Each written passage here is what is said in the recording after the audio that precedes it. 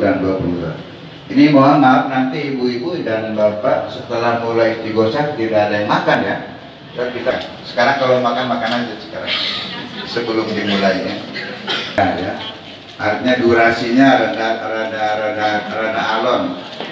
Rasa yang barangkali sudah sering ya hendaknya tidak mendahului imam ya, supaya ada ada keserempakan lah. Serempak kita membacanya gitu kemudian ada doa ya. selain dari doa ini ada juga doa nanti saya pandu. Ya doa untuk dimudahkan segala urusan duniawi dan akhirat. Artinya urusan itu urusan itu kalau yang punya utang sakit semoga segera diangkat penyakitnya dan seterusnya dan seterusnya. Itu antara lain doa yang akan kita bacakan.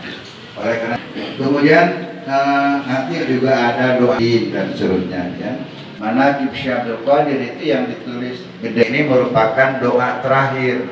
Cuman doa yang ini dibacanya bareng-bareng. Kita memohon uh, apa namanya memohon karomat yang namanya karomat. Uh, ziarah agar dulu kepada orang-orang atasan yang di atas yang di sana yang sudah almarhum yang